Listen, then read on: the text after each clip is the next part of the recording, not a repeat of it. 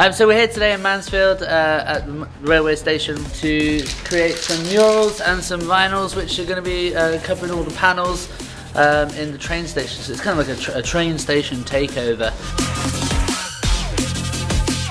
Both sides will be filled with uh, colourful designs by the end of this week. Um, so we found the designs by working with Sutton Road Primary School and it was with year five we did two workshops over um, a week at the beginning of the month. We asked them for inspiration of things to do with the history the, the, the wildlife and natural sort of elements of what's going on around.